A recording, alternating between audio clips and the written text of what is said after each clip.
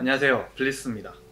오늘은 저는 굉장히 중요하다고 생각하는 하지만 여러분들은 장담하건대 별로 신경 쓰지 않는 스쿼트에 있어서 미묘한 디테일에 대해서 한번 이야기를 해보려고 합니다. 저는 사실 이런 디테일들이 하나하나 쌓여서 결국에는 큰 스쿼트를 만들어낸다고 생각을 하고 이런 디테일들을 잘해야 항상 스쿼트의 퍼포먼스가 일정하고 변함없이 그리고 항상 어, 꾸준히 증가할 수 있게끔 만들어준다라고 생각을 하기 때문에 미묘한 디테일들을 하나하나 잘 하는 것이 굉장히 중요하다고 생각합니다. 그 중에서 오늘은 스쿼트를 할 때 바벨을 짊어지고 나오는 법의 항상성에 대해서 이야기를 나눠보고자 합니다.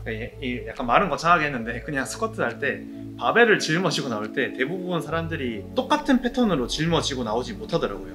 무슨 말이냐면 보통 무게가 가벼울 때는 가벼우니까 별 생각 없이 들어가서 스쿼트를 이런 식으로 짊어지고 나와요. 그 다음에 스쿼트 하고 다시 갖다 놓고. 그 다음에 조금 무거워지면 긴장해서 들어간 다음에 들고 나와서 막 뭐 이렇게 하다가 하죠. 그러니까 제 말은 모든 스쿼트의 패턴이 동일해야 되는데 가벼운 무게든 무거운 무게든 패턴이 동일해야 되는데 이 패턴들이 다르다 보니까 가벼운 무게일 때와 무거운 무게일 때 스쿼트의 스쿼트가 달라진다. 그리고 무거운 무게일 때 그 컨트롤하는 방법을 잘 몰라서 에너지 낭비가 심해진다 무슨 말이냐면 처음에 가벼울 때는 뭐 에너지 낭비가 많이 없죠. 근데 여기 한 2, 300kg씩 바벨 무게가 달려있다고 생각하면 여기서 여기까지 걸어 나오는데도 에너지 소모가 굉장히 많이 돼요. 이 소모를 최대한 줄여야 되는데 처음에 이제 익숙하지 않은 분들은 처음에 바벨이 많이 무겁다고 가정하면 짊어지고 나와서 막, 막, 막 이렇게 움직이다가 계속해서 움직여요. 자기 잡을 때까지. 계속해서 움직이다가 에너지 낭비를 엄청 많이 하는 상태에서 자기 원RM을 시도하면 실패할 가능성이 굉장히 커지겠죠 그래서 이러한 부분을 항상 똑같이 패턴화 시켜서 항상 똑같이 걸어 나오게끔 연습을 시켜주는 게 굉장히 중요하다고 생각합니다.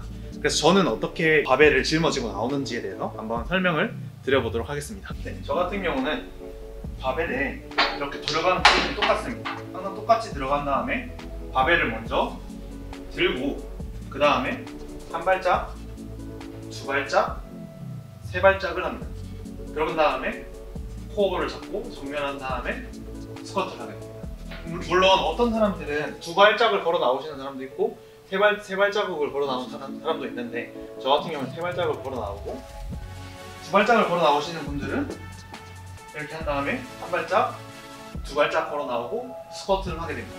그래서 여러분들도 여러분들한테 맞는 그런 방법을 선택해서 이 걸어 나오는 디테일 하나하나를 잘 살리셔서 에너지 낭비를 최소한으로 하고 그래서 최상의 퍼포먼스를 내시기를 바랍니다. 그러면 이 미묘한 팁이 많은 도움이 되셨기를 바랍니다. 이 영상이 도움이 되셨다면 꼭 좋아요, 댓글 부탁드리고 구독하기, 알람 설정도 꼭 잊지 않으셨으면 좋겠습니다. 네, 이상으로 영상을 마무리하도록 하겠습니다. 오늘도 시청해주셔서 감사합니다.